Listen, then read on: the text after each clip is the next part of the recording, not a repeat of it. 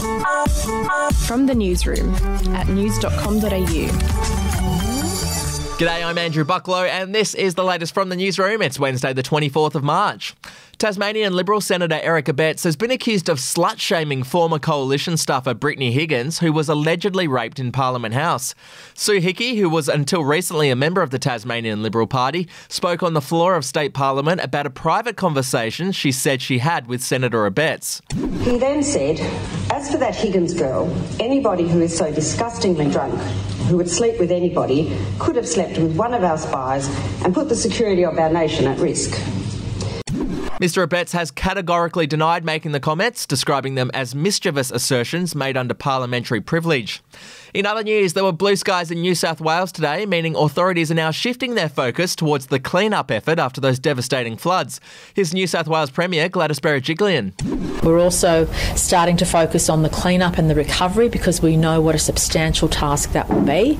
We're certainly not out of the woods in terms of the immediate flood danger, but we have to turn our minds to how we start the clean-up and the recovery.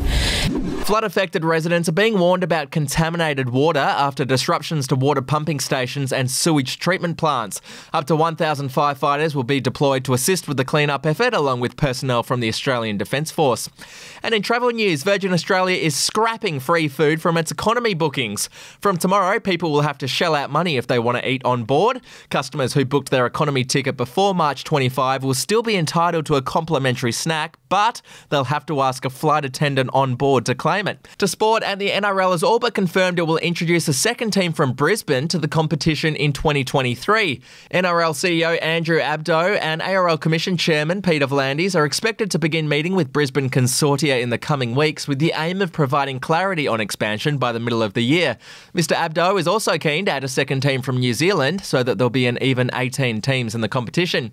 And in showbiz, one of the Bondi Rescue lifeguards has revealed that he had a secret role in Muriel's wedding. It turns out Was a body double for David Lapaine, who played swimmer David Van Arkle in the 1994 film. Lifeguarding wasn't 12 months a year, it was only a, a seasonal job, so I had to go pick up some extra work. Having a look at me there in the background was cast as an extra to start with, and then from there, I uh, did a bit of doubling for the main actor, uh, a bit of swimming in the pool. I think it deserves an Emmy. And finally, some sad news. Comedic actor George Segal, best known for playing Jack Gallo on Just Shoot Me, has died aged 87.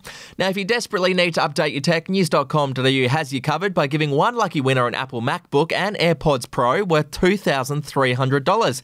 Head to news.com.au slash win to enter today. That's it for this episode of From the Newsroom. I'll be back tomorrow morning. Your headlines from news.com.au.